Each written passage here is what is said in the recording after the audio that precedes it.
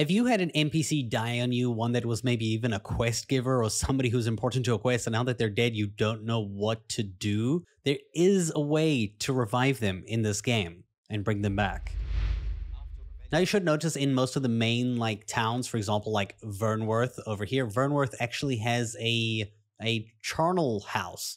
This is where they keep the dead. They keep the bodies. They put the bodies in here. This is the place you got to go to. You access it from this location from in the town. You just go through the stairs down into the stairs here. If I show you what this looks like from this perspective, we're basically going to go run down this pathway over here and you'll see this is what it looks like. This is the entrance, and you're going to run down the stairs, run inside. You'll see there's a guy over here who you're going to speak to. For the very first time you speak to him, he's going to want 5,000 gold to look for bodies, right? So he's going to basically look for a body, and this will list everybody in your game, an NPC who's dead. Maybe they died adventuring. Maybe they, you know, you killed them. I don't know. Like, you know, maybe they're just dead. I don't know. If we go ahead and we select this guy, for example, we can go light a candle to mark his coffin so that we know which coffin is his, because otherwise you're not going to know who you're reviving.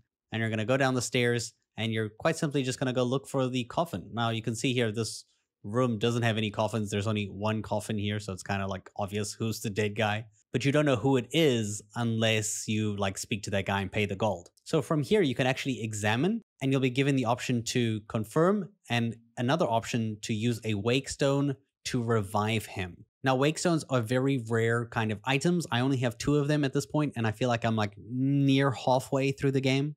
So this is not something you should waste, but you can get more of it when you get three wake stone shards, which is something you'll find often and sometimes in chests and as rewards. When you combine three of these together, it actually turns into a wake stone. Like it just it just converts three into one wake stone. So you can get wake stones. It's not impossible. There's probably ways to grind it. I just don't know yet. And you can use the wake stone at this location. I'll I'll just I'll just use it to demonstrate. So if I go ahead and I revive him, this is what it looks like. Achievements. I just got two achievements. Great. And now he's awake. And if that was somebody you needed for a quest, they're they're alive now. So that's how you solve that. I hope you guys enjoyed this video and thanks for watching.